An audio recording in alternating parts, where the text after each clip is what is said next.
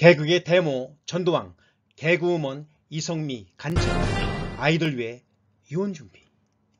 자녀 격언, 탈무드, 형제간의 두뇌 비교는 둘을 다 해치지만 개성의 비교는 둘을 살린다. 기독 일보에 나온 이성미 집사 인터뷰를 잠시 소개합니다. 이성미, 아이들 위해 이미 유언 준비, 성경 66권 녹음.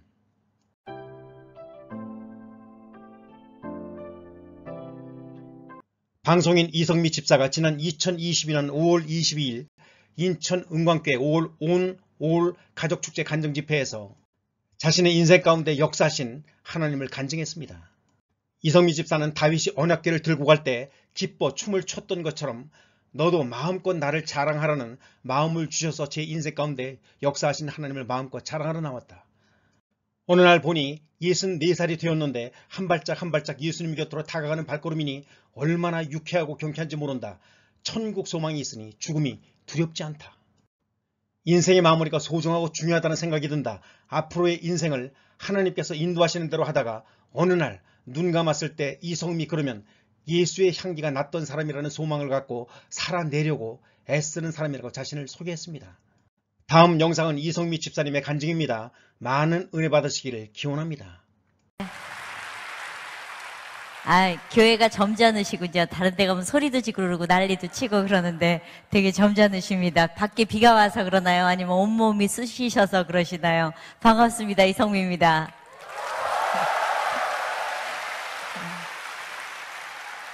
예, 어, 오신 숫자보다 소리를 크게 질러 주셔서 감사합니다. 어, 저는 어, 사실은 간증 다니면서 제가 늘 느끼는 거지만 저는 한 사람 앞에서 간증하는 거기 때문에 어, 많고 적고의 숫자가 중요하지 않고요. 제가 살아온 인생에 대해서 여러분들과 같이 나누면서 늘 기쁜 마음으로 하나님이 나를 얼마나 아, 사랑하셔서 이렇게 귀한 자리에 아, 나를 세우셨나 해서 눈물 날 정도로 감사합니다. 그래서 너무너무 행복합니다. 그리고 이 자리가 어, 이 세상의 그런 화려한 무대보다도 얼마나 소중한 자리인지 모르겠습니다. 어, 바깥에 비가 오는데 비 정말 많이 오죠. 예, 어쩜 이렇게 한국이 캐나다 같은지 캐나다에서 비가 싫어서 왔더니 따라왔더라고요. 아주 징글징글합니다. 비는 그런데 어, 비가 와서 피해가 많으셔서 올해도 또 가슴 아픈 일들이 너무 많아서 아, 늘 참 하나님 내가 나 행복한 것만 행복이 아니라 하나님 같이 나눌 수 있었으면 좋겠습니다라는 마음으로 왔습니다.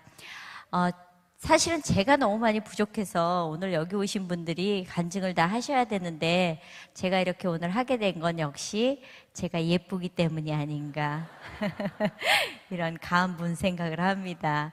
예, 저는 사실 제가 캐나다 가기 전에는 간증을 안 했었거든요.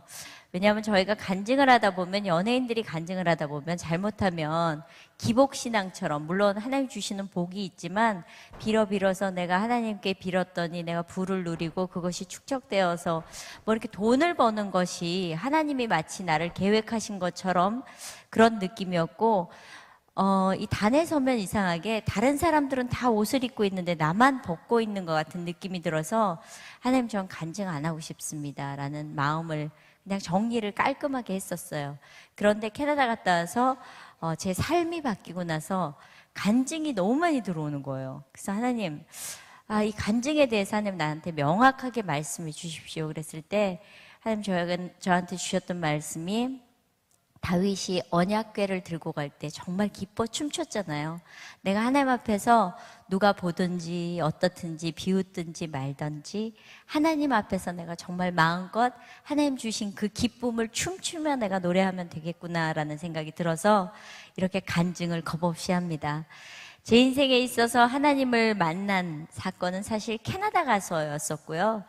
저는 하나님을 만나기 전의 삶과 하나님 만나고 나서 너무너무 다릅니다. 전 제 인생에 있어서 하나님을 만나기 전의 삶은 늘 힘들었었고, 늘 우울했었고, 늘 과거로부터 묶임을 받아서 하나님, 난 살고 싶지 않아요. 라는 고백이 저의 첫 번째 고백이었던 것 같습니다. 어, 제가 나름 아까 말씀하셨는데 30년을 방송을 했더라고요. 개그계 조상님이 어느 날 됐더라고요. 제가 와보니까 후배들만 있는 거예요. 선배가 없어요. 마음이 어렵더라고요. 제 위에 선배라고는 송혜 선생님 하나, 그리고 뭐 이용열 씨, 뭐 주병진 씨 이런 분들, 전유성 씨 그런 분들밖에 안 계신 거예요.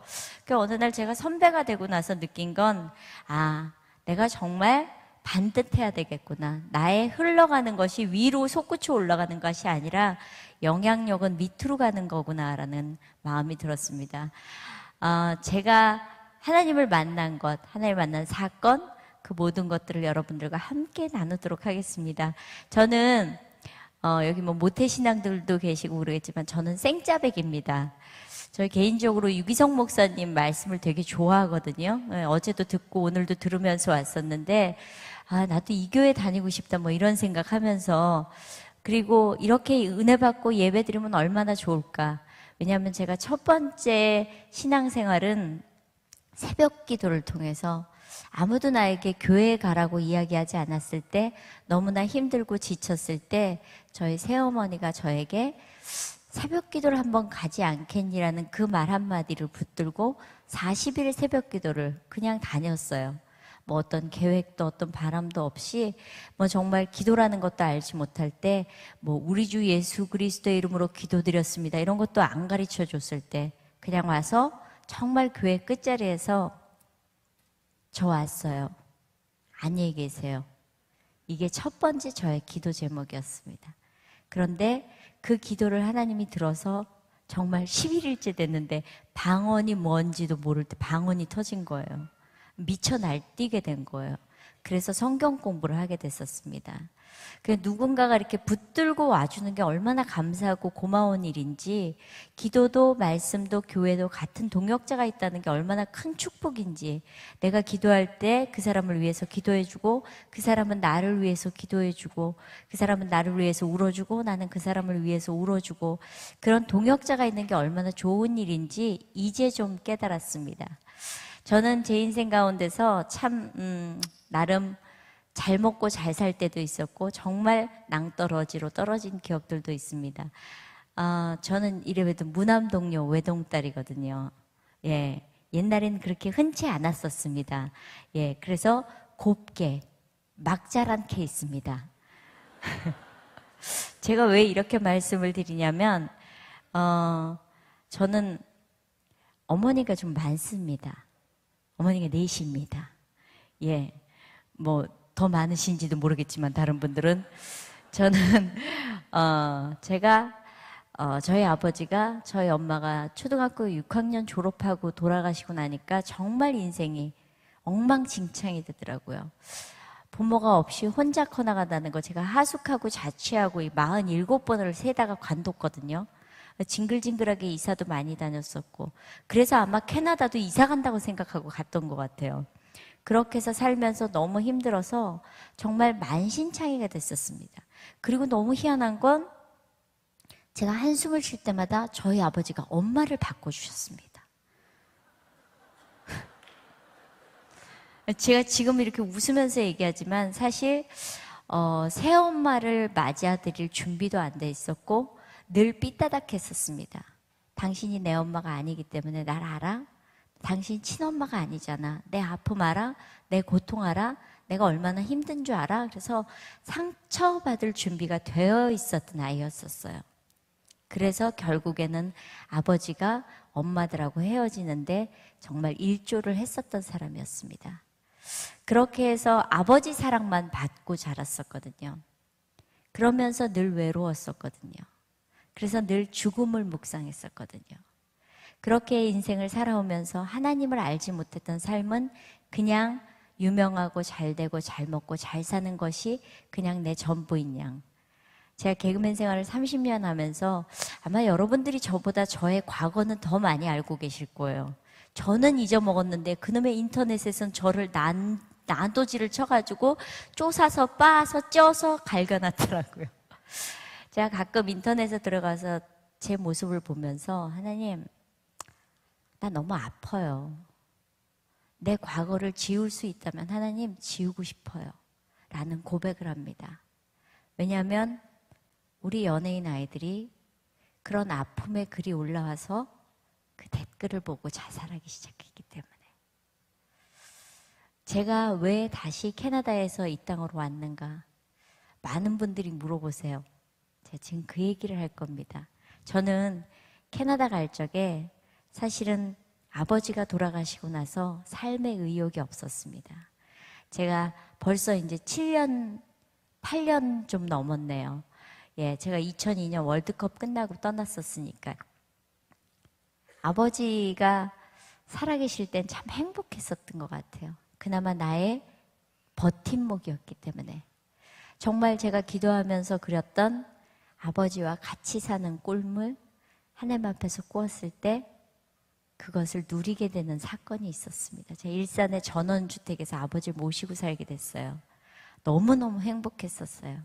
아버지를 모시고 그 집에 들어가서 아버지는 일주일 그 집에 사시고 그리고는 다시 그 집에 돌아오지 않으셨어요.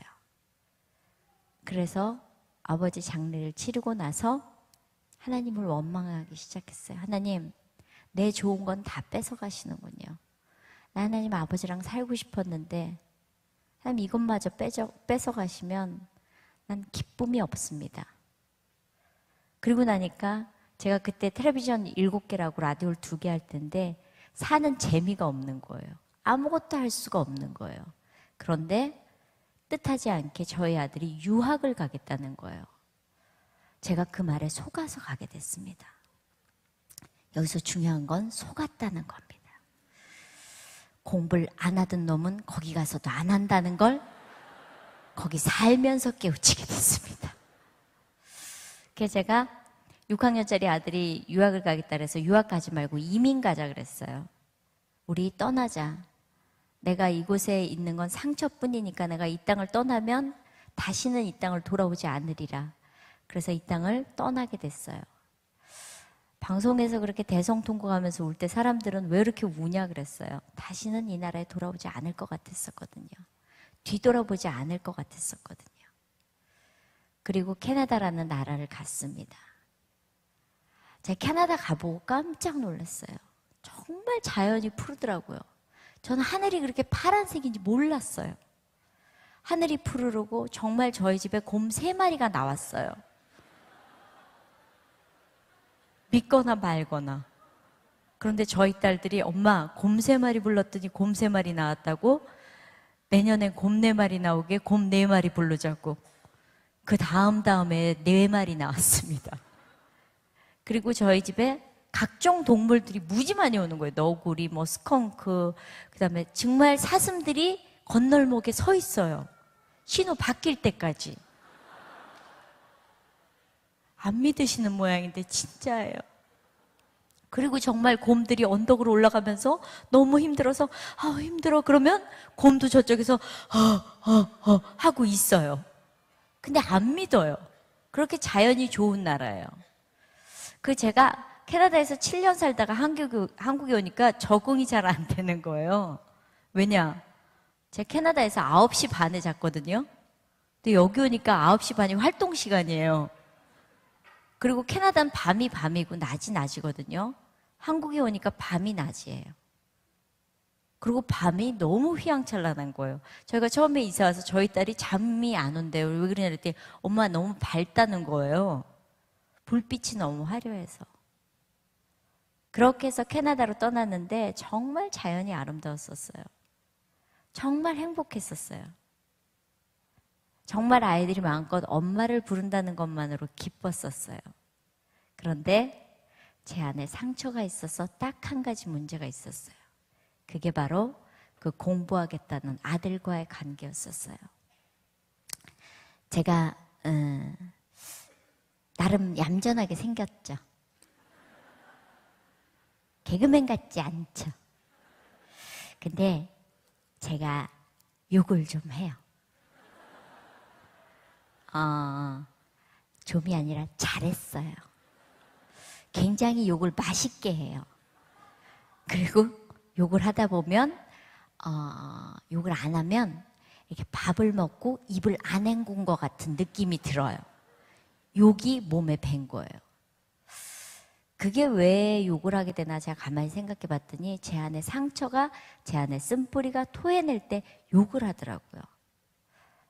여러분들 중에서도 혹시 바깥에서 멀쩡한데 집에서 욕을 하거나 폭언을 하거나 집어 던지거나 뭐 소리를 지르거나 이런 분들은 내 안에 분노가 있다고 생각하시면 돼요. 제가 그렇게 욕을 했어요. 누구한테? 그 아들한테. 보통 욕의 기본이라는 단에서 이런 얘기는 그렇지만 이런 미친놈, 이런 정신 나간 놈, 이런 도라이, 이런 강아지 뭐 이런 욕 있잖아요. 강아지 말고 있죠. 그 욕을 웃으시는 분들은 그게 무슨 욕인지 알고 계시다는 걸 제가 이미 알아요. 밥 먹듯이 욕을 했었어요. 아주 욕을 맛있게 했었어요. 그리고 제가 화가 나면 욕으로 풀었었어요. 그런데 너무 감사하게 사춘기 아들은 욕먹을 준비가 돼 있어요. 컴퓨터를 하면서 엄마한테 욕이 그리워서 기다리고 있었어요. 저희 아들이 컴퓨터를 하고 있는데 제가 그날도 늘 욕을 했었으니까 야 나와 아이씨 컴퓨터 하고 있잖아 나와 이 새끼야 뭐 이러고 욕을 했어요. 그게 습관처럼 그리고 제 안에 분노는 아이들한테 폭발하더라고요. 바깥에서 너무 멀쩡하고 그런데 그렇게 공부를 안 하는 놈이 제가 아이들한테 공부 스트레스를 좀 안 줬었거든요. 근데 진짜 공부를 안 하더라고요. 안 주면 할 줄 알았어요. 안 하더라고요. 그러면 제가 뭐라 그랬겠어요? 야, 공부 안 하고 그렇게 살다가 거지 된다, 이 새끼야. 제가 그러고 그랬었어요. 말을 막 했었어요. 애한테 막 찔러댔었어요. 욕을 아주 많이 했었어요. 그리고 사춘기 아들하고 엄청 싸웠어요. 너무 꼴배기 싫으니까. 전 인생이 생방송이라고 생각하고 사는데 걔는요, 9시 반에 학교인데 10시에 가요. 난, 내가 뭐라 그랬겠어요? 야, 제 학교에서 전화가 오잖아요. 거기는 학교에서 전화가 와요. 네 아들 오늘 학교 안 왔다고. 그럼 제가 가서, 야, 너 학교 안 가? 안 가도 된대요. 그럼 제가 뭐라 그랬겠어요? 야, 네가 교장이냐, 이 새끼야? 교장도 그러진 않겠다. 막 이러면서 싸웠어요. 그렇게 욕을 많이 썼어요. 그런데 어느 날, 그날도 역시 게으른 저의 아들을 보면서 화가 많이 났었어요. 자고 있더라고요. 제가 문을 열고 들어서, 야, 빨리 학교 가라. 아, 미친놈, 밥 먹고 가. 그리고 이제 내려와서 밥상을 차려놓고, 하, 밥을 딱 이제 제가 차려놓고 밥 먹으라 그랬더니 저희 아들이 밥을 이렇게 쳐다보고 있어요. 그래서 야, 빨리 밥 먹고 학교 가라, 이 새끼야. 그랬더니 저를 이렇게 쳐다봐요. 그 사건 전에 저희 아들이 제가 남편하고 잘 싸웠거든요. 분노가 있으니까 떨어져서 사니까요. 3년 지나니까 남이에요. 그래서 저는 혹시 여기 조기 유학, 유학을 꿈꾸거나 기러기를 꿈꾸신다면 포기하라고 말씀드리고 싶습니다. 5년 지나니까 아빠가 있을 자리가 없어요. 7년 되니까 남보다 더 못해요. 제가 옷 갈아입고 있는데 들어오면 깜짝 놀래요. 서로. 누구세요? 그만큼 어색해지더라고요. 네. 제가 저희 아들한테 그렇게 욕을 하면서 컴퓨터로 그렇게 하고 있을 때 제가 정말 많이 싸웠었거든요. 저희 아들은 이렇게 주먹으로 분노를 표현 못하니까 벽을 쳐가지고요. 구멍을 내놨었어요. 그건 제가 거기다가 우리 아들이 한 짓, 나중에 이사 갈 때 공사할 것, 이렇게 써놨었어요. 다니면서 보라고. 그날도 저희 남편하고 언성이 높아져서 제가 저희 아들이 컴퓨터 하고 있는 방에 갔어요.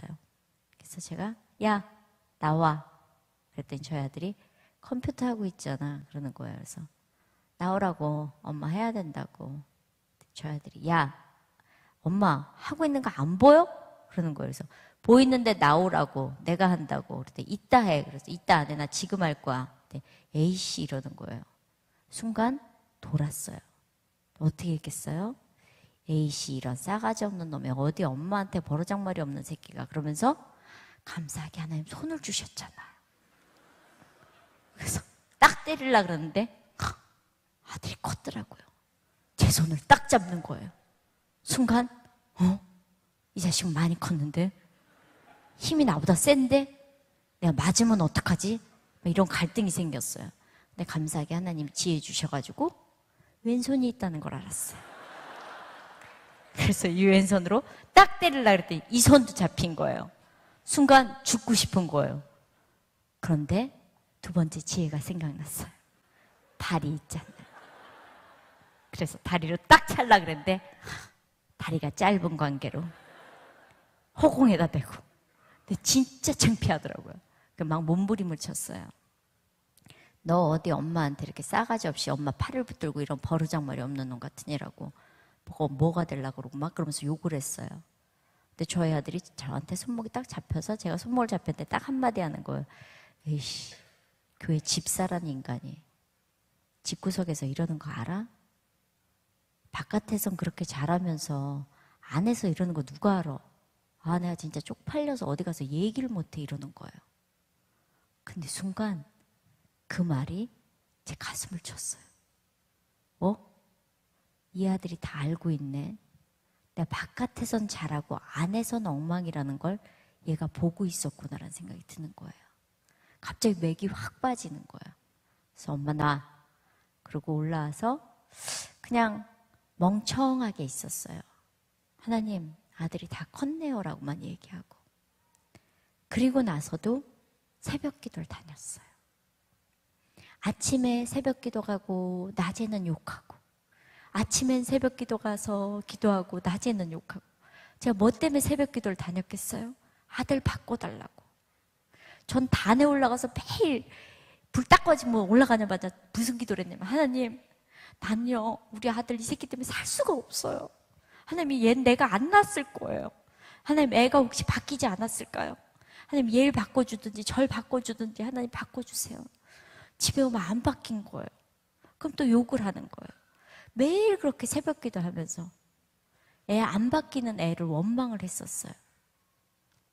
그런데 그날도 새벽 기도 갔다 와서 그런 일이 있었거든요. 아이가 얼마나 한심하게 저를 받겠어요. 그런데도 안 바뀌었어요. 그 다음날 아침에 도 새벽 기도 갔다 와서 늦게 일어난 아들을 보면서 문을 열고 들어가서 하나님 여전히 안 바뀌었어요. 한심한 새끼. 저 뭐가 될라 그러죠? 그리고 나서 아침밥을 차려놓고 저희 아들이 학교를 갔는데 제가 물을 갖다 놓으면서 야 밥 먹고 학교 얼른 가. 아유 날쌘 놈. 뭐가 될라고. 날 샜다 이 새끼야 미친놈. 그리고 딱 뒤돌아섰는데 하나님 저에게 한 말씀 하셨어요. 네 아들 네가 말한 대로 만들어 줄까? 제가 그 말을 듣는 순간 너무 두려웠어요. 내가 17년 동안을 아들한테 욕을 했었는데 아들이 내가 말한 대로 만들어졌다면 저희 아들은 피 흘리면서 죽었어야 되고요. 정신이 나가서 바깥에 개가 돼 있어야 돼요. 그 생각을 하니까 너무 두려운 거예요. 사이한테 밥을 먹으라 그러고 방에 들어가서 문을 잠그고 하나님 잘못했습니다. 나를 그렇게 기다려주신 하나님, 내가 아들이 바뀌게 해달라고 기도했었는데, 하나님, 내가 정말 잘못했습니다. 다시는 욕하지 않겠습니다. 철저하게 회개했던 것 같아요. 회개는 내가 내 것에서 잘못된 것을 끊어내고 다시는 하지 않는 거잖아요. 놀랍게도 제가 그렇게 기도하고 나서 그다음부터는 욕을 안 하는 거예요. 그랬더니 저희 아들한테 금단 현상이 일어나기 시작했어요. 애가 욕을 쭉 먹었었기 때문에 엄마가 욕을 안 하니까 불안해해요. 3일이 지나니까 애가 몸마려운 강아지처럼 제 주위를 계속 맴도는 거예요. 우리 엄마가 왜 이러나? 그더니 일주일째 되는 날 너무나 조심스럽게 엄마 물어볼 게 있는데 뭔데? 왜 욕을 안 해? 제가 알았어요. 엄마 그날 너한테 이야기하고 하나님이 나한테 그런 마음 주셔서 엄마 욕 안 하기로 했다. 그래서 앞으로 욕 안 할 거다. 저희 아들이 아니 하나님 17년 동안 가만히 계시다 왜 그날 얘기하신 거야?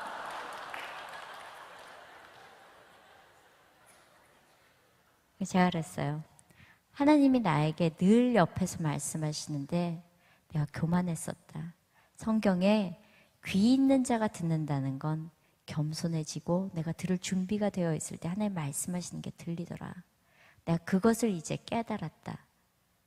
저희 아들이 2층으로 올라가면서 저희 딸 둘한테 좋겠다 니들은 욕 안 먹고 커서. 그러더니 놀라운 일이 일어나기 시작했어요.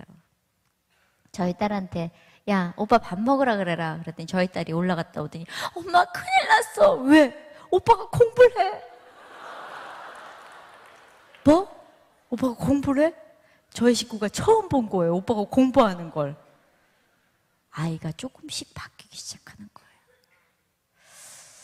그래서 제가 그때 깨달았어요 아 내가 변하면 아이가 그것을 보고 변하기 시작하는구나 그런데도 내 안에 쓴뿌리와 상처 때문에 아이를 미워했었어요. 사랑하지 않았어요. 철저하게 율법으로 가르쳤어요. 이성미의 아들로 똑바로 앉아. 바르게 예의 발라야 돼. 인사 잘해. 밥 잘 먹어. 뭐뭐뭐뭐 어떻게 해. 그런데 결정적인 사건이 저희 아들한테 일어났어요. 저희 아들이 운동을 되게 잘하거든요. 학교 반 운동장을 금을 거놓고 한쪽은 축구를 하고 한쪽은 어, 하키를 하는데 저희 아들이 축구부였어요. 근데 하키하는 아이들이 자꾸 스틱으로 공을 보니까 이제 열받은 거예요. 그래갖고 축구공을 이렇게 놓고 있다가 그 제일 깐죽거리는 아이한테 발로 해가지고 탁 뒤통수에다 찬 거예요. 그런데 그 캐네디언 아이가 뒤를 딱 돌아다 와서 정면으로 축구공을 맞은 거예요. 그러니까 열받아서 저희 아들한테 와서 멱살을 잡았어요. 밀고 당기고 밀고 당기고 밀었는데 그 아이가 브레이드를 타고 있어서 뒤로 넘어지면서 바닥에 아스팔트에 머리를 다치면서 순간 내진탕으로 혀가 말려 들어간 거예요. 저희 아들이 혀를 꺼냈더라고요. 그러고 나니까 저희 아들은 교장실에 갇히게 되고 캐네디언 아이들 세 명은 딱딱딱 증인할 아이들을 방에다 해놓고 경찰하고 앰뷸런스가 와서 앰뷸런스로 아이는 실어가고 저희 아들은 그렇게 갇혀 있었어요. 전 그것도 모르고 어떤 일을 보고 있는데 저 아는 엄마가 전화가 왔어요. 저기 아들한테 전화 안 왔어? 그래서 어 안 왔는데 그랬더니 어 그럼 됐어 그러고 끊는데 느낌이라는 게 있잖아요. 왜? 그랬더니 아니야 전화 안 왔으면 됐어 그러는 거예요. 그래서 무슨 일인데 그랬더니 아니야 그러더라고요. 그래서 제가 다시 전화를 걸어서 무슨 일인데 얘기해봐. 그랬더니 아예 아들한테 전화 안 왔으면 됐어. 그러는데 전화를 끊고 났는데 저희 아들이 문자를 했어요. 엄마 죄송합니다. 저한테 일이 생겼는데 제가 처리할게요. 하는 순간 불안이 왔어요. 어? 아이한테 무슨 일이 생겼구나. 그래서 제가 차에 타서 시동을 걸고 하나님 말씀하십시오. 자 듣겠습니다.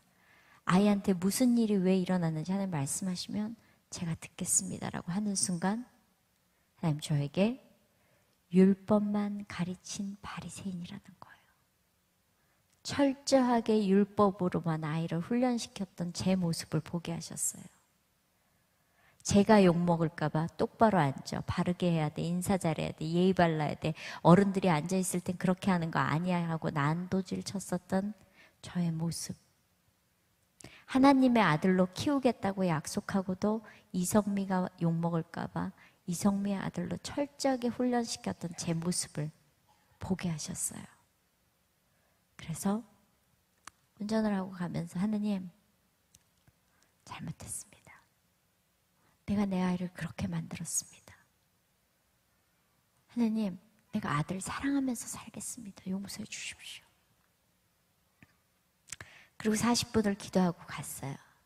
기도하고 와서 딱 학교에 도착했더니 선생님 한 분이 나오시더니 저한테 너의 아들은 감옥에 가게 될 거고 너희는 이 나라에서 추방당할 거고 다시는 이 나라에 못 들어올 거다라고 딱 명확하게 얘기하는 거여서 알았다 내 책임지겠다 라고 이야기하고 이렇게 돌아보는데 교장실에서 저희 아들이 잠깐 바람을 쐬러 나온 거예요. 그런데 이렇게 난간을 붙들고 하늘을 보면서 한숨을 푹 내쉬는데요. 얼굴이 하얗게 질려 있는 거예요. 근데 제가 그 아이를 보는 순간 하나님, 내가 저 아이를 저렇게 외롭게 만들었어요. 내가 저 아이를 저렇게 몰아붙였다라는 생각이 드는 거예요. 너무너무 가슴이 아픈 거예요.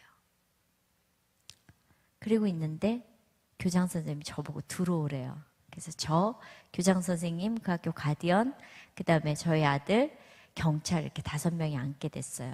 근데 경찰이 저보고 넌 너무 럭키하다는 거예요. 왜 그러냐 그랬더니 이 세 명의 캐네디언 아이들이 저희 아들이 때린 게 아니라 밀었는데 뒤로 넘어져서 브레이드를 타고 있때 뒤로 넘어져서 뇌진창으로 잠깐 쓰러진 거다라고 이야기한 거예요. 다 똑같이. 그래서 나라에서는 처벌을 하지 않겠대요. 학교에선 처벌받겠지만. 그리고 있는데 무전기가 왔어요. 그 쓰러졌던 아이가 깨어나서 저희 아들이 처벌받지 않았으면 좋겠다고. 그래서 학교에서 14일 정황만 맞고 저희 아들이 집으로 오게 됐어요. 집으로 왔는데 그날은 아무것도 못 하겠는 거예요. 기운이 없어서. 완전 맥이 빠지더라고요. 그래서 그 다음날 아침에 일어나서 아이한테 뭘 해줄까? 밥을 맛있게 해줘야 되겠다. 그래서 밥을 맛있게 차렸어요. 그리고 저희 아들 보고 와서 밥을 먹으라 그랬어요. 애가 내려오더니 밥상을 보더니 밥을 못 먹어요. 너무 잘 차려놓은 거야. 우리 엄마가 그런 엄마가 아닌데. 그러니까 얘가 난 이 밥을 먹으면 떠나야 되는구나. 우리 엄마가 마지막 밥상을 이렇게 멋지게 차려놓은 거구나. 그런 마음으로 입을 못 대는 거예요. 그래서 밥 먹고 올라와. 그때 저희 아들이 밥을 먹고 제 방으로 들어왔어요. 여러분들이 놀러와서 보셨던 사건이 그 사건이에요. 저희 아들 왔길래 앉아 그리고 제가 무릎을 꿇었어요. 그리고 용서를 빌었어요. 엄마 미안하다. 엄마 그동안에 너 많이 미워했었다. 그리고 엄마 너 사랑 없이 키웠었다. 그래서 이런 일이 있었던 것 같다. 내가 그 용서를 지금 받고 싶다. 근데 저희 아들이 대성통곡을 하는 거예요. 엄마, 내가 얼마나 힘들었는 줄 알아? 엄마 나한테 칭찬 한번 해줘 봤어? 엄마 나한테 잘한다고 이야기해 준 적 있어? 잘하는 건 당연하다고 생각했고 못하는 것만 엄마 나오라 그랬었잖아. 엄마가 나한테 언제든지 한 번이라도 나한테 잘한다고 이야기했었으면 이런 일 없었을 것 같아. 할 말이 없는 거예요. 그래서 그냥 붙들고 아이를 붙들고 울었어요. 엄마 용서해라. 그리고 그냥 둘이 안고 꺼이꺼이 울었어요. 그렇게 해서 한참을 울고 저희 아들은 저희 아들 방으로 가면 전 제 방에서 앉아서 하나님 감사합니다. 그리고 나서 그 다음날 새벽 기도를 가는데 아침에 나가는 순간 뭐 시커먼 게 나와요. 이게 뭐야? 나도 새벽 기도 따라가려고. 왜? 하나님 살아계셔. 그게 뭔 소리야? 엄마 바뀐 거 보니까 하나님 확실히 살아서 역사하시는 분이셔. 그날부터 저희 아들이 새벽 기도를 저랑 같이 다니기 시작했어요. 정말 그렇게 해서 새벽 기도를 같이 가면서 같이 찬양하고 같이 기뻐하고 같이 예배 드린 건 너무너무 행복한 거예요. 근데 어느 날 저희 아들이 새벽 기도를 갔다가 오면서 엄마, 나 하나님이 부르셔. 하나님 부르셔? 하나님 다 불러. 나도 처음에 교회 가서 얼마 안 있을 때 하나님 나한테 사랑하는 내 딸아 해서 난 어디서 들어보지도 못한 사랑하는 내 딸아 내 들었어? 너도 그거야? 했더니 아니 그런 과가 아닌 것 같아. 서 아니야 그거야. 했더니 아이 엄마 나 하나님 일을 해야 돼. 당연히 하나님 일 해야지. 하나님 아들인데 됐어. 그게 아니라 엄마 목회를 해. 야 목회 남은 아니야? 너 멀리 갔다 오버하지 마. 더 기도해봐. 그러면서 속으로 기뻤어요. 우리 아들이 드디어 명품이 되어 가는구나라는 생각에. 그런데 한 달 뒤에 저희 아들이 기도하더니 엄마 나 아무래도 목회해야 될 것 같아. 지금 목회 공부하고 있어요. 너네 아들 목회 공부하는데 할렐루야는 뭐고 아멘은 뭡니까? 예, 마치 바랬다는 듯이 요새는 어머니들 모토가 너희 집 아들은 개고생하는 목사, 우리 집 아들은 돈 많은 장로라면서요. 그래서 하나 떨고 내시니까 좋으세요? 근데 너무 행복했어요.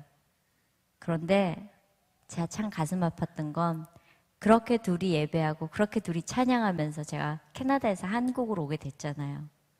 아들을 데리고 오고 싶은 거예요. 아들이 그렇게 이제 잘 자라고, 잘 자라주고, 이 종교가 통하면요. 말이 너무 많아지는 거예요. 수다스러워지는 거예요. 너무 행복한 거예요. 그런데 어느 날, 제가 금요철을 가서 둘이 아들하고 손을 붙들고 기도를 했는데 하나님이 이제 네 손 잡지 말고 내 손 잡고 가게 하여라 그러시는 거예요. 그런데요. 저 너무 쉽게 아- 아들 손을 내어드릴 줄 알았거든요. 근데 이 아들 손을 잡고 있는데요. 하나님 앞으로 못 내드리겠는 거예요. 하나님, 내가 데리고 갈게요. 한국에 데리고 가서 그냥 아이 편안하게 가르치고 싶어요. 안 된다는 거예요. 몇 번의 실갱이를 하다가 하나님 내가 이 아이를 하나님 앞에 바치겠습니다. 이렇게 손을 들이는 순간 그 신랑 손에 신부를 내어 맡기는 느낌? 그래서 아이를 내어 맡기고 한참을 울었어요. 내가 이제 사랑할 시간이 얼마 없는데 이 아이를 하나님 앞에 내어 맡기고 갈 수 있겠나라는 그 아픔 때문에. 그런데 아이가 엄마 내가 해볼게 그러는 거예요. 그런데 더 황당한 건 하나님 물질도 주지 말라는 거예요. 하나님, 나 돈이 있잖아요. 버는데요, 하나님. 나 아들한테 돈 주고 싶어. 아니. 네 아들이 받을 축복을 네가 가로채려 하느냐라는 음성이 들렸어요. 그래서 저희 아들한테 이야기했어요. 엄마가 이런데 하나님 너에게 축복 주신다니까 내가 그것을 결단해야 될 것 같다. 미안하다.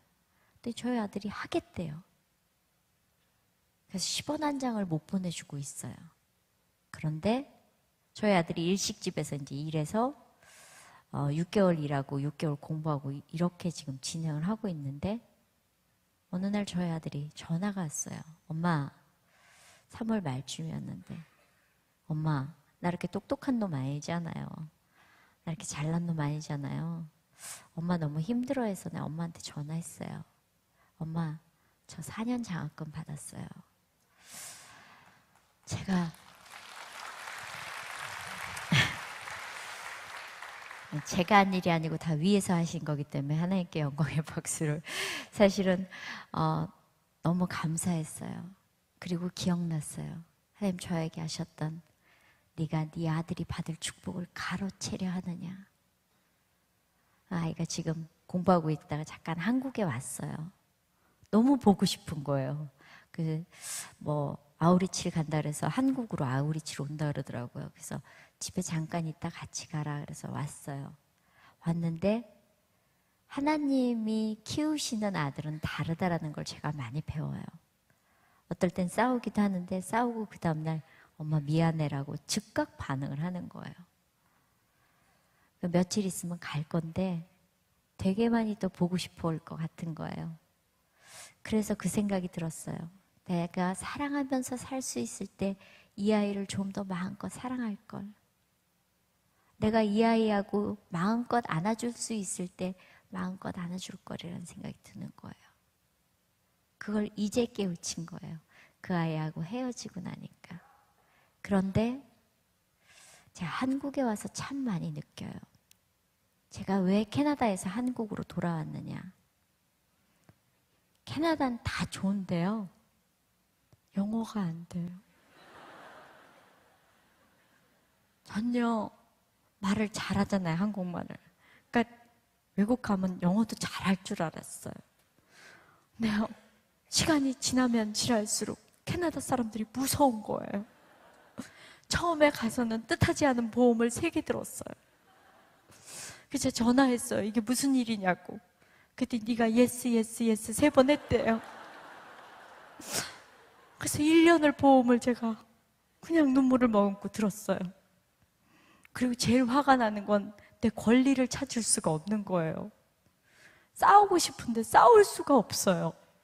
Excuse me 하고 두 번 파든 그럼 됐다야 파든 양 파든. 그리고 제일 화가 나는 건 병원이에요. 아마 병원 가서 속 터져 죽은 놈도 있을 거예요. 우리는 왜 병원 가면 즉각즉각 하잖아요. 거기는 뭐 패밀리 닥터 갔다 거기서 중간 병원 갔다 중간 병원에서 조금 더 큰 데 갔다 더 큰 데에서 조금 아주 큰 데로 갔는데 1년 걸려요. 명 짧은 놈은 가다 죽을 것 같아요. 그렇게 답답하더라고요. 그리고요. 저희 아들이 여기 골맞었어요. 그래서 병원에서 작은 병원에서 큰 병원 그렇게 해서 돌았는데요. 너무 급해서 한국에 와서 째고 들어갔어요. 한 달 뒤에 전화 왔어요. 수술하러 오라고. 그렇게 답답한 나라예요. 그래서 제가 검진을 계속 받으러 다녔거든요. 전 그런 체험은 처음 했는데, 검진을 받으러 와서 그날 이제 저희 개그맨 후배들이 같이 밥을 먹고 수다를 떨고 홍대 앞에서 새벽 1시쯤 됐는데, 커버를 이렇게 트는데요. 술에 취한 여, 여학생이었어요. 청바지 입고 티셔츠를 입은 여학생이 그 호프집 앞에 이렇게 널브러져 있는 거예요. 그런데 예수님이 그 아이를 떠안고 그건 어, 우는 게 아니라 이 가슴이 빡빡한 거예요. 그래서 제가 그 아이를 보면서 하느님, 돌아오겠습니다. 저 한 아이를 살릴 수 있다면 내가 정말 이 땅이 싫다고 떠났던 이 땅 이 자리에 다시 돌아오겠습니다라고 기도하기 시작했어요. 그리고 캐나다에 돌아가서 준비했어요. 한국에 돌아올 준비를. 막, 가만 있어 봐. 애들을 학교를 어떻게 하고, 뭐, 집은 어떻게 하고, 뭐, 이런 정리를 하고 있는데, 하늘 뭐 하네요. 그래서, 아예 하늘 가라 그래서 제가 정리하고 있어. 그랬더니, 그냥 있으라는 거예요. 기도하면서. 제가 1년 6개월을 그 말씀을 듣고 나서 기도했어요. 근데 정말 하나님이 저를 이끌어 가시는 게 느껴지는 거예요.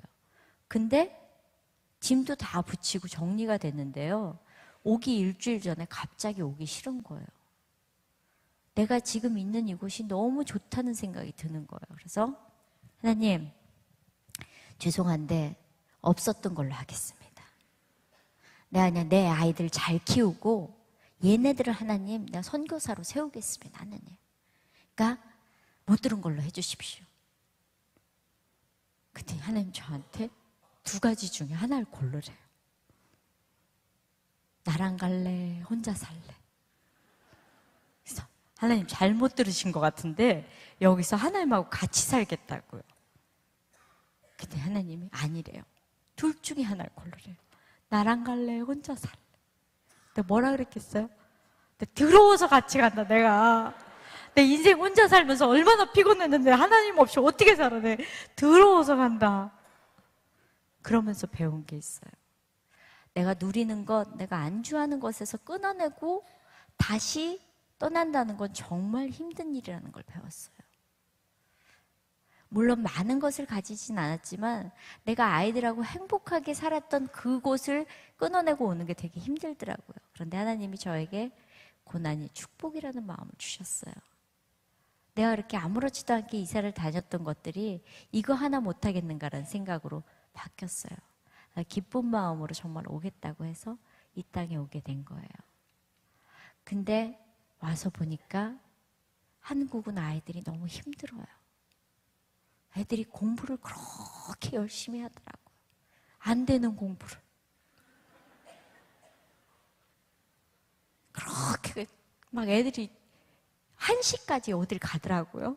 막 아침에 6시인가 7시부터 학교 가가지고 학교 끝나고 나면 야자하고 야자 끝나고 막 학원 가고 막 애가 버스에 막 취해가지고 갔다 하면서 막 애들이 그렇게 막 병들어가지고 애들이 하얘. 근데 결정적인 건 공부를 못해. 그럼 엄마가 뭐라 그래요? 야, 너 왜 이렇게 누굴 닮아서 그러냐? 내가 그렇게 돈을 벌어가지고 널, 내가 얼마나 고생하는데 넌 도대체 누굴 닮아가지고 내가 학원을 그렇게 똑같은 걸 보냈는데 넌 누굴 닮았냐?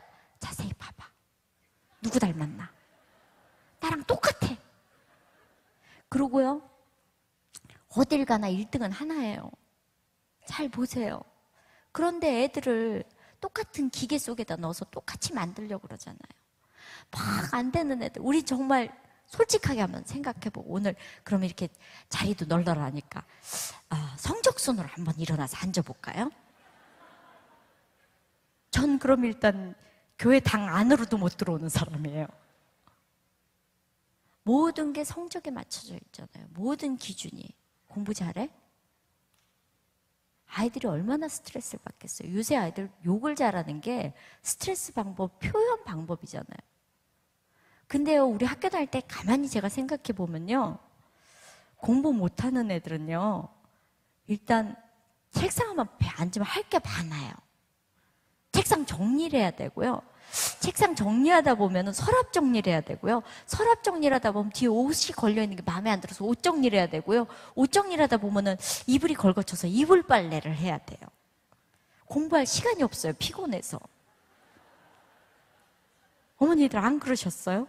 전 그랬어요. 그래서 저는 애들한테 스트레스를 안 줬거든요.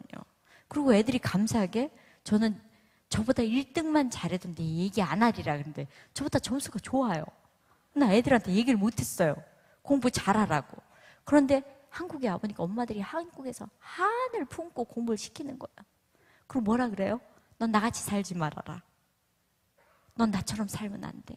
공부 잘해서 훌륭한 사람이 돼서 훌륭하게 살아야 돼. 너 옆집에 봐라. 쟤 공부해가지고 그렇게 잘한대잖니? 그렇게 옆집애가 부러우면 옆집에 데려다가 키우든가. 한때는 공부를 그렇게 시키겠다고 그냥 없는 돈에 막 쥐어짜가지고 막 학원을 그렇게 보내면서 막 애를 틀틀틀틀 볶아가지고 뭐하러 학원을 보냈어요? 아, 이제 학원 하시는 분들은 오해가 없으시길 바랍니다. 제가 이제 학원을 보내지 말라 이거는 어차피 어, 공부 안 하는 놈은 학원에 가서도 잔다 이제 이 얘기죠.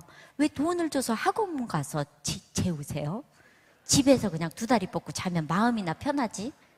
전 그래서 공부 잘하는 애들은 공부하러 가지만 못하는 애들은 놀려라. 이제 이런 주의거든요. 물론 저희 아이들, 은 여기 와서 학원을 안 다닙니다. 그 제가 이렇게 자신 있게 얘기하잖아요.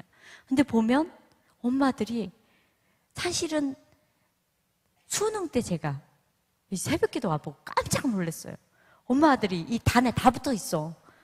나는 장판지를 바꾼 줄 알았어. 막 엄마들이 100일 뭐 이런 새벽 기도 하잖아요? 그러면 엄마들이 여기 어디 구석에서 나, 십자가 여기 위에 있으니까 못 올라가지? 여기 위에도 붙을 엄마들이야. 막 그래가지고 앉아가지고 이렇게 보면은요, 막 무릎을 꿇고 아버지, 아버지 감사합니다. 믿 습니다. 막 이러면서 기도하는데 자세히 들어보잖아요. 그럼 하나님 믿습니다. 저희 딸이 이번에 수능을 보는데 하나님 이번에 시험에 잘 볼게요. 좋은 학교 붙게 해주시면 하나님 제가 헌금을 이빠이 하겠습니다. 주님 믿습니다. 믿습니다. 믿습니다. 막 이러면서 막 그러면은 이쪽에 있는 아줌마가 어머 저 옆에 있는 봐라. 주여를 세 번 불러서 다섯 번 불러야지. 주여 주여 주여 주여 주여 주여 믿습니다. 이번에 우리 딸이 시집가서 학교 가는데 이번에 저쪽 집보다 우리 아이를 좋은 학교 보내주시면 저쪽 집보다 더블로 할 거고 하나님. 그러니까는 우리 우리 딸이 이번에 좋은 학교 붙게 해주시면 하나님 내가 정말로 최고로 좋은 것들을 드리겠습니다. 믿습니다. 아멘. 아, 죽기 살기로 막. 하나님 피곤하실 거야 그래서 우리 아이가 대학 떨어지면 하나님 우리를 버리신 건가요? 그렇게 해서 아이들이 좋은 학교를 가는 거. 그것이 목적이 되어버렸잖아요. 저희 아들이 사실은 좋은 학교 가기를 원했어요. 인류대학을 가고 싶어 했었어요. 그래서 어디다 원서를 냈었어요. 근데 안 됐어요. 그러면서 저한테 엄마, 나 엄마 좋은 학교 가고 싶었는데 인류대학 가고 싶었는데 엄마 안 돼서 미안해요. 엄마한테 좋은 선물 주고 싶었는데. 근데 제가 그랬어요. 네가 생각하는 인류학교에 가서 네가 삼류면 그 학교 삼류야. 네가 생각하는 삼류학교에 가서 네가 인류가 되면 그 학교는 인류야. 내가. 내가 그 얘기를 했어. 내가 그 얘기하고 깜짝 놀랐어. 나의 머리로는 나올 수 없는 생각이거든. 나의 생각으로는 어떻게 하느냐? 아이, 거봐라, 이 새끼야. 공부를 그렇게 안 하더니 똥통에 가서 똥물이나 튀기면서 그렇게 살아라. 그럴 줄 알았다, 인생하고는. 이럴 엄마거든요. 내가 간증 때마다 그 얘기에 내가 날 너무 기특한 거야. 아이들이 병 들어가고 있어요. 아이들이 애쓰고 있지만 안 되는 건 안 되더라고요. 내 아이 내가 사랑해주지 않으면 누구도 사랑해주지 않아요.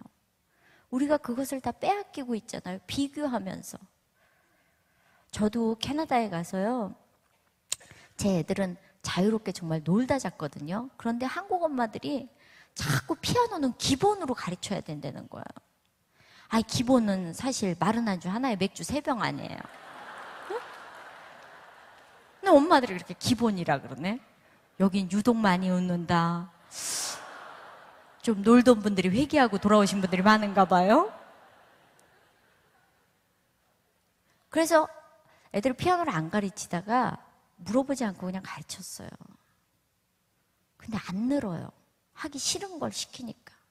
6개월이 지났는데도 피아노 건반이 10개 이상이라는 걸 몰라요, 애들이. 거기서만 띵띵거리는 거예요. 짜증이 나는 거예요. 돈은 돈대로 들어가고. 그래서 몇 달을 더 가르쳤는데 여전히 연습을 안 하니까 피아노가 소리가 안 나는 거예요. 띵띵띵 삥 막 이러는 거예요. 돌아버리겠는 거예요. 물어봤어요. 둘째 딸한테. 야, 너 피아노 치기 싫었냐? 싫대요. 그래? 그럼 관 돌아. 그리고 그날 고기 사 먹었어요. 그러면 될 줄 알았어요. 그런데 문제는 같은 또래 애들이 이상하게 엄마들은요, 애들을 데리고 오면요, 지네 집에도 피아노가 있을 텐데 우리 집 피아노 뚜껑을 열어요. 그리고 애를 거기 앉혀서 아유, 한번 쳐봐. 그럼 막 애가 막 피아노를 훑고 지나 다니는 거예요. 막, 막, 그러고 하면 도는 거예요. 아, 똑같은 돈을 들여서 가르쳤는데 쟤는 건반을 아래 위로 훑고 다니네? 우리 딸은 그렇게 다니는데 그러면서 애가 미워지는 거예요. 그러면 지네 집에서 피아노 치지. 왜 우리 집에 와서 나 마음을 어렵게 하는 거야? 그래가지고 피아노를 어떻게 있겠어요? 확 남을 줘버렸어요. 아는 선교사님 집에 피아노가 필요하다 그래서 확 줘버렸어. 그날 찬양했어요.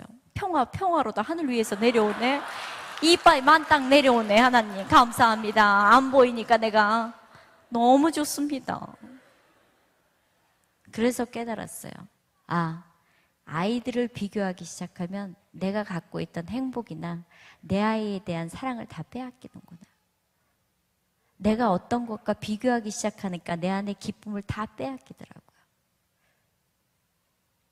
여러분들 가운데서도 지금 하나님이 주셨던 그 처음에 아이가 태어났을 때 그 기쁨과 감사는 온데간데 없고 넌 도대체 누굴 닮아서 그러니? 아유, 애요? 왼수예요.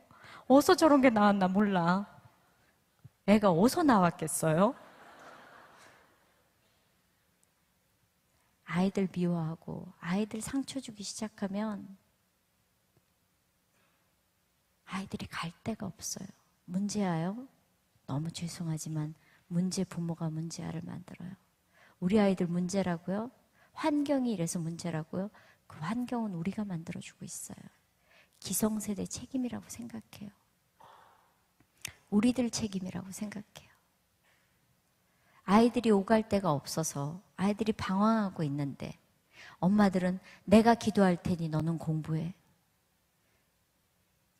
아이들이 예배 드리고 기도해서 말씀 듣고 가는 것이 아니라 엄마가 기도해서 하나님이 말씀하셨는데 말이야. 너는 박사가 될 거래. 뻥치지 마세요. 엄마의 기도로 아이들이 중보 기도로 만들어지는 건 맞아요. 그렇지만 아이가 아이의 기도로 비전을 갖고 갈 때 엄마가 같이 손 붙들고 가는 거지. 엄마가 기도했더니 좌회전에 우회전에 하나님이 이렇게 말씀하셨어. 아니요. 아이가 듣고 기도하고 갈 때 넘어져도 하나님이 이렇게 세우시더라고요. 하나님을 바라보고 가는 아이들, 하나님의 사람으로 만들겠다고 여러분들이 지금 여기 모이신 거잖아요. 그런데 우리는 내 생각과 내 계획과 기도하면서 기도 열심히 하는 엄마가 아 하나님 그래가지고 우리 딸이 정말 좋은 학교 가가지고. 야 뭐 어떻게 도와줄까? 아 내가 지금 기도, 하고 있잖아요 하나님한테. 내가 알아서 할 건데. 하나님 그러니까 잘 되게 해주시고. 그러니까 하나님 뭘 어떻게 하라고. 아, 내가 알아서 할게요. 하나님 저쪽으로 가세요. 내 뜻대로 하옵시고 주의 뜻대로 마시옵소서. 요새 기도가 그렇게 바뀌었대요 내 뜻이 이루어지면 응답이고 하나님 나에게 말씀하시면 응답이 아니던가요? 한국에 와보니까 너무 정말 아이들이 지쳐 있어요. 그 아이들이 내 아이라고 생각하면 가슴이 아프잖아요. 내 아이 내가 사랑하지 않으면 하나님 나중에 내가 너에게 줬던 봄을 내놓으라 했을 때 그 아이들이 피 흘리고 있으면 여러분들 하나님께 뭐라고 변명하시겠어요? 내 믿음 지켜서 내가 천국 가는 거 아니요. 믿음의 대가 끊기는 것에 대해서 두려워하라 하셨거든요. 지금 우리가 이렇게 잘 먹고 잘 살고 풍요로운 것들이 어쩌면 우리가 신앙생활을 하는데 독이 될 수도 있어요. 하나님이 주신 복을 우리가 어떻게 누리는가도 되게 중요하다는 생각이 드는 거예요. 제가 그렇게 해서 정말 캐나다에서 와봤더니 저는 사실은 연예인 아이들하고 모여 있을 때 가장 행복하거든요. 제가 제자리로 돌아왔기 때문에.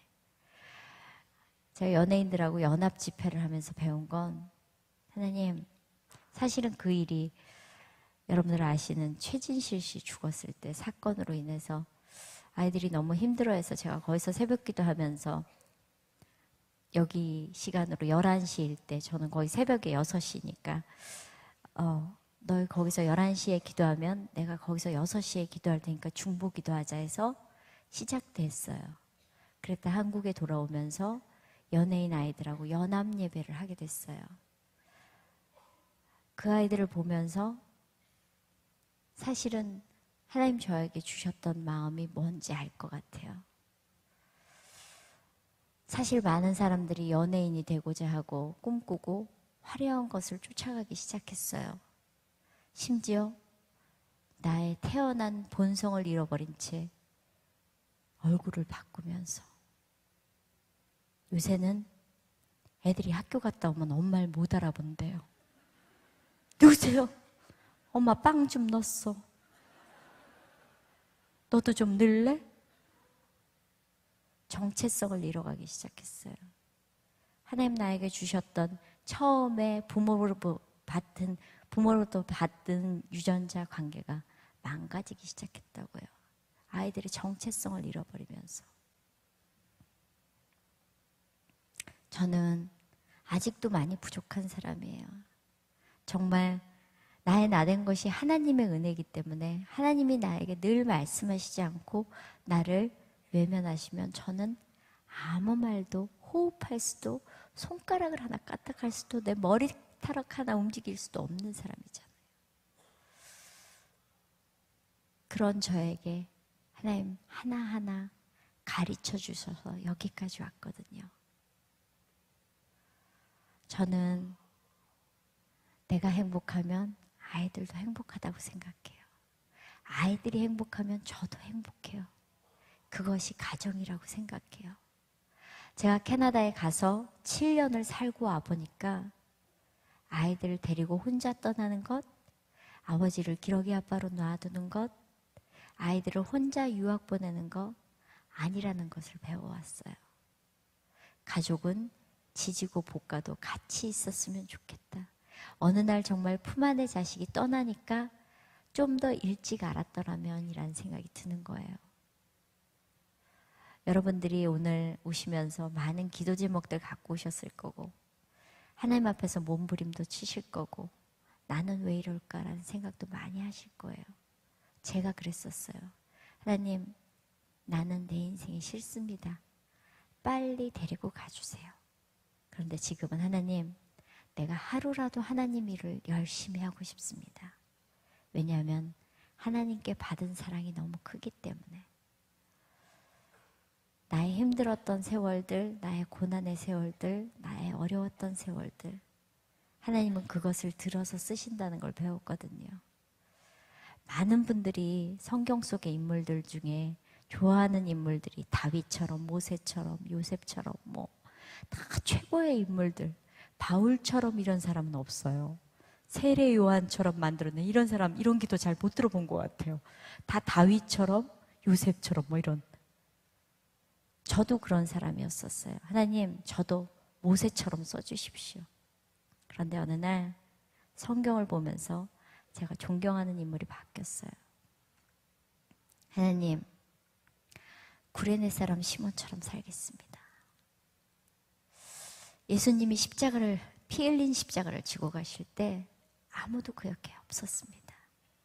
그런데 유일하게 구레네 사람 시몬은 떠밀려서건 억지로건 예수님의 피 흘린 십자가를 잠시 잠깐이라도 졌습니다.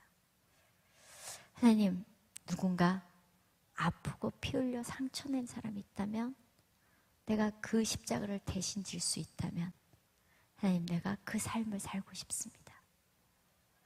이 고백은 제가 50이 돼서 했던 고백입니다. 저는 제 인생에 많이 힘들었던 시간들을 보내면서 많은 원망과 많은 아픔과 많은 슬픔이 있었습니다. 그런데 하나님은 그것들을 통과해서 축복을 주셨고 그것으로 인해서 깨우쳤습니다. 하나님, 내가 그 아팠던 기억들을 다른 아이가 겪지 않도록 안아주겠습니다. 하나님, 그 아이가 피 흘리고 있다면 내가 대신 피 흘릴 수 있습니다. 라는 고백입니다.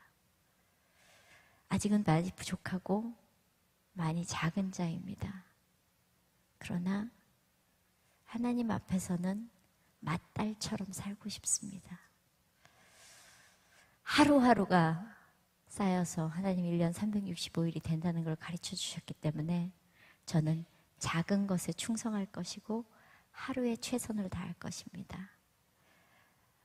많은 분들이 기도하고 계시겠지만 저희 연예인들 위해서 기도 많이 해주십시오. 저희가 연합 예배 한 지 1년 반 됐고요.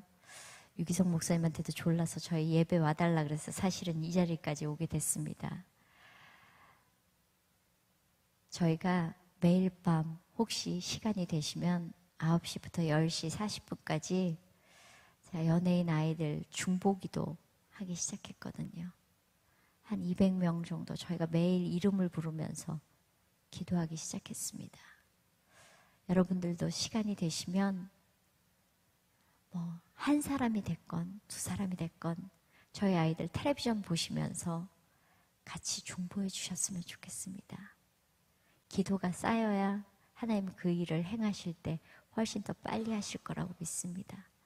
저는 저희 연예인 아이들을 위해서 다시 그 아이들에게 믿음이 들어가고 말씀이 들어가서 온전히 세워지기를 하나님이 세우시기를 바라는 사람입니다. 저희가 그 연예인 기도 연합 예배하면서 타이틀이 있어요. 하나님 주신 마음.